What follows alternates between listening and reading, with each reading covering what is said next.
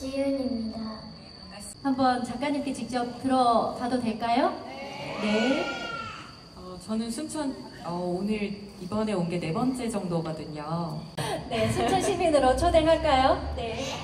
작가님의 꿈이 처음에는 이렇게, 이렇게, 이렇게 같다고 했죠? 그 꿈 박수 한번 쳐주시겠어요? 스무 살 미만. 서른 살 미만.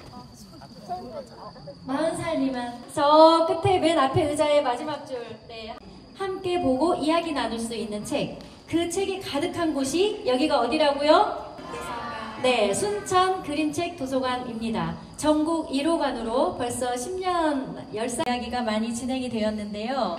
어, 오프닝 공연 말고도 여러분의 가을밤을 또 멋지게 만들어. 우리 큰 박수로 모셔볼까요?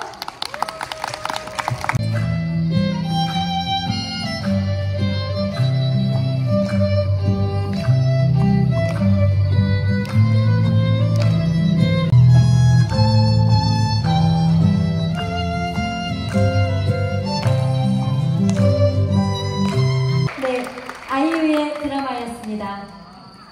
아쉽죠?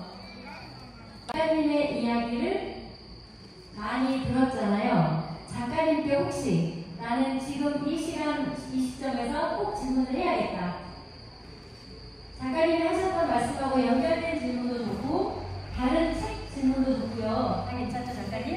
네, 한 사람 질문으로 받겠습니다. 책 제목이 뭐예요? 아 여기서. 아 되게 핵심적인 질문. 아주 매서운 친구네요. 어,